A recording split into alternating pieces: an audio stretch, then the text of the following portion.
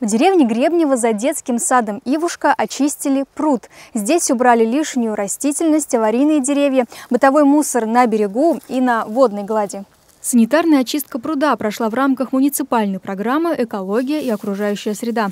Комиссия проверила состояние берега и убедилась, что санитарные работы проведены качественно. Это место знаковое для всех э, местных жителей. Мы очень долго ждали эти работы, и благодаря главе городского округа Щелково Андрею Алексеевичу Булгакову на сегодняшний день наконец-то это событие произошло. Чистили пруд в течение двух недель. По какому же принципу выбирают водоем для санации? Пруд выбирается, оценивается сотрудниками администрации по загрязненности, потом берется количество жалоб, обращений, пожеланий жителей, потом оценивается нахождение пруда, то есть, скажем так, социальная какая-то значимость пруда. В рамках программы будет продолжена работа по улучшению экологической обстановки и обеспечению благоприятных условий для дальнейшего развития округа.